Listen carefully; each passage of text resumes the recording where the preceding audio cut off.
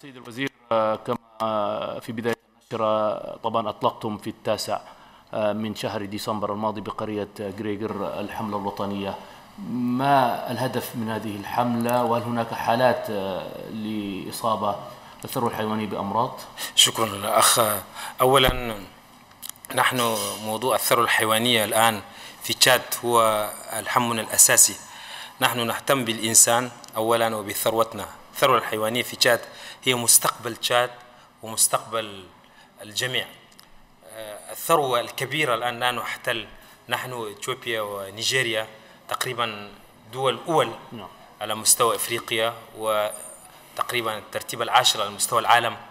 هذه الثروة الهائلة 94 مليون من الأبقار والأغنام وهذه الثروة بالإضافة إلى 23 آه، 34 مليون من الطيور والدواجن. هذه الثروة الكبيرة لابد من الاهتمام بها ورعايتها. لذلك آه، عن طريق الشركاء وبذل الحكومة التشادية وفي المقدمة أكيد توجيهات السيد رئيس الجمهورية إدريس زبيد حفظه الله.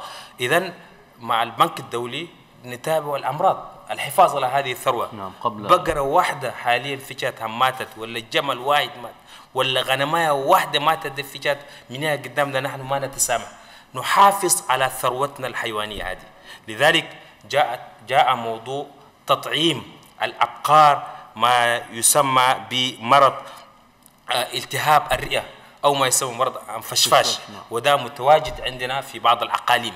لذلك اخترنا 18 آه، من الأقاليم لنذهب آه، لتطعيم هذا المرض. والحمد لله ما منتشر كبير لكن نريد أن نحاصره كاملا. نعم. حتى لا يكون هناك أمراض تتوزع في هذه الأقاليم. نعم. سيد الوزير طبعا آه، هذه الحملة هي آه، تستهدف آه، 18 إقليما. نعم. وهذه تتطلب وضع استراتيجية للوصول إلى طبعا تشاد بعض المناطق آه، هناك يعني صعوبة في الوصول إليها الآن لها طريق آه، وعورة ال- ال- الطريق وكذا.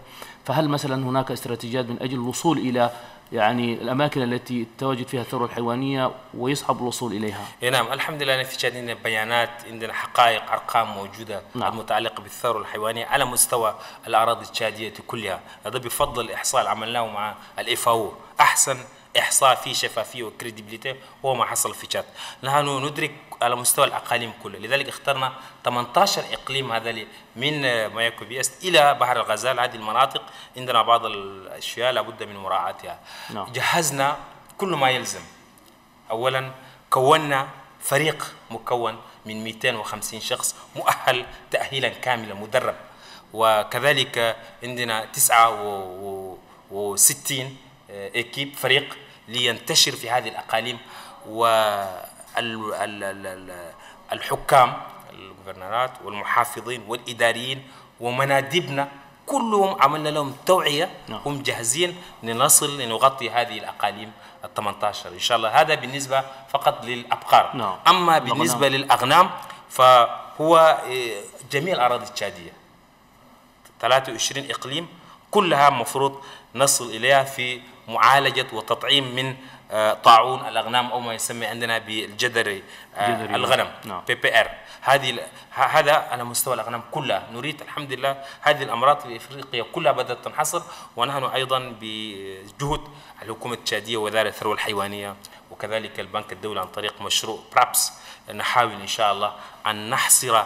لن يكون هناك مرض في المستقبل متعلق بالاغنام وكذلك متعلق بالأبقار بل نذهب إلى الالبل وإلى الخيول وإلى كل الثروه الحيوانيه حتى تكون آه، آه، ثروة نظيفة طبيعية الحمد لله حتى نقدمها للآخرين. نعم. نحن وحدنا لا نستهلك هذه أكيد. الثروة الكبيرة جدا. أكيد. أكيد نعم. آه، طبعا سيد الوزير الوقاية دائما خير من العلاج. نعم. وطبعا ما أعرف طبعا أنتم عند إطلاقكم لهذه العملية حددتم هناك أسعار رمزية تدفع مثلا للأبقار 20 ريال والأغنام 10 ريال. نعم. ألم تحرك هذه الرسوم الرمزية حفيظة بعض الرعاة من أجل إعفاء كامل لهذه ال- الرمزية المالية التي تدفع؟ أول انتهز هذه الفرصة هذه الشاشة الجميلة.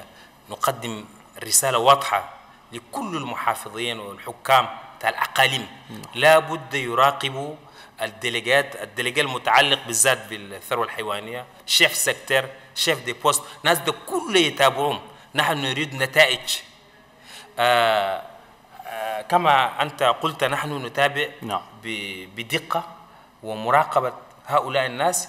حتى هذه الأدوية نعم. والنتيجة النهائية نصل إلى ما هو مخطط له آه، سلفا. موضوع ده نريد آه، نشعر الناس بأنه الشيء ده ما مجانا هذا الشيء مكلف أموال رهيبة. نعم. ولكن فقط 10 ريال ولا 20 10 ريال البقرة ولا 20 ريال 10 ريال للغنم ولا 20 ريال البقرة.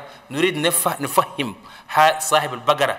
أنت أيضا ساهم بهذا الشيء المعنوي حتى يهتم بالأمر. هذا تحفيز نريد الناس يشاركوا. ما يجوا لشغل يجوا يطقنوا الناس يقول شغل جراتوي وما مهم. لا لا لا. هو أول شغل زي ما قلنا ابلغاتوار واجب. أي زول لابد يمشي التطعيم. فقط هذا من أجل التج- بعض الاوراق الإدارية ومن أجل تحفيزهم واهتمامهم هم أنفسهم اولا. نعم. شغل ده ما شغل ساكت. ولذلك هم يدفعون هذا الشيء الرمزي. ما عنده أي قيمة مع هذه الملايين المملية. حاليا بدأنا ب 4 مليون للتطعيم لقاح، نعم. ولقاح. وفي الفترة القادمة 6 10 مليون. وهكذا إلى أن نغطي الثروة الحيوانية في تشاد. كلها إن شاء الله. لن يك- لن يكون هناك مرض إذا نتابع بهذه الطريقة. بفضل الشركاء وبفضل جهود الحكومة التشادية التي تعنيها الثروة الحيوانية الآن صارت أولوية السيد رئيس الجمهورية نعم. ورئيس الوزراء وكلنا جميعا نسهر الليالي من أجل هذا طبعا من منطلق كون أن الثروة الحيوانية هي مصدر أساسي لدعم الاقتصاد الوطني. السيد الوزير طبعا هذه الحملة هي حملة كبيرة، هل حددتم جدول زمني آه، لهذه الحملة؟ إيه هي طبعا عندها الحملة ممتدة إلى شهر اثنين لكن حاليا هذه فقط تبدأ من منتصف آه، هذا الشهر إلى 21 يوم نغطي هذه الأقاليم. الحمد لله الوزارة عندنا من من الإقليم لحدي chef de poste مسلسل إداري منظم. والحمد لله يعني حتى الرعاة الناس بدأوا بيفهموا أهمية التطعيم والصحة. الناس ذات أمس مشينا. أنت شفت من نفسك في منطقة الجريجر ما شاء الله البقر نظيفات. شجعنا يعني شعرنا بفرح. والناس البقر في قرية صغيرة قريب ألف وكم لو ألفين من الأبقار حولنا. والناس كلهم مندفعين من أجل التطعيم. عرفوا أهمية التطعيم. فالناس متأكد أنهم يشاركون مشاركة فعالة من أجل نجاح هذا التطعيم إن شاء الله في هذه الأقاليم بالنسبة للأبقار 18 وبالنسبة ل 23 إقليم بالنسبة للغنم كلها لا نريد مرضا أبدا لا في الأبقار ولا في الأغنام ولا في الثروة الحيوانية الأخرى إن شاء الله في نعم سيد الوزير كلمة أخيرة في نهاية هذا اللقاء. آه، الر- الرسالة اللي نريد نوجهها يا جماعة التشاديين جميعا موضوع الثروة الحيوانية ده لابد نمسكه بإيدينا. نحن الحمد لله وأن الله قال لكم في الشهر واحد نعلن رسميا هذا العدد الكبير اللي هو 94 مليون. وهذا تقريبا قبل سنتين ثلاثة الآن بفضل الإفاو نعمل تحديث لهذا الإحصاء. ربما العدد يكون 100 مليون ونحن نكون إن شاء الله في مقدمة إفريقيا من حيث الثروة الحيوانية هذه الثروة ليس لنا وحدنا. عن طريق السقوق ده لابد أن نتابع صحة الحيوان وغدا إن شاء الله نصدر اللحوم. إذا ما اللح- اللحم كان جيدا نصدر اللحوم. الثروة الحيوانية هي مهمة لنا من البترول ومهمة لنا من أي شيء حتى آه، نشارك الشعب التشادي. الآن 40% من الناس ال- في الرعي في في الريف نعم. معتمدين على الثروة الح- على الحيوانية. الحيوانية، نعم. 80% تقريبا من الأساس الاقتصادي كل الناس يعتمدون. نريد هذا الرقم يفهمه الجميع.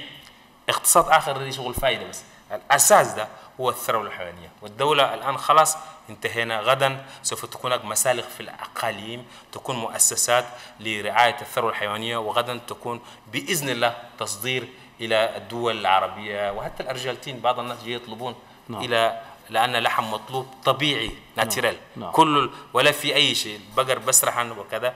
فقط نحتاج إلى رعاية صحية. حتى نقدم تشاد تظهر بثوب جديد. للعالم بهذا بهذا بهذا. الآن موضوع الغذاء صار مشكلة في العالم نعم. كله.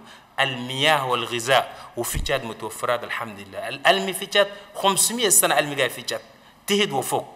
والبقر والثروة الحيوانية. بلد ما شاء الله جميل الله أعطاه الخير. أجمل بلد في الدنيا. شكرا سيد الوزير ونتمنى لك التوفيق.